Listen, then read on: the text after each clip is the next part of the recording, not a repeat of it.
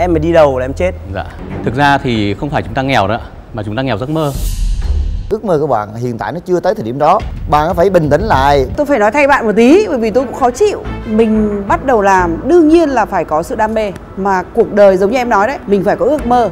Mà ước mơ có thể mình mơ được và cũng có thể không mơ được. Thì mới có người giàu và người nghèo có người thành công và có người thất bại. Bởi vì có những thứ làm thật thì lại không có tiền và không được ủng hộ. Vâng. và tôi đã bị trải qua điều đó. Dạ. còn có những thứ mà nó rất ảo, người ta có thể thổi bùng lên và kiếm được rất nhiều tiền. Và đặc biệt bạn quan tâm về lĩnh vực giáo dục.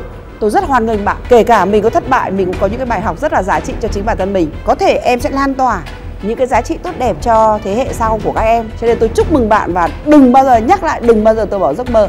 Dạ vâng.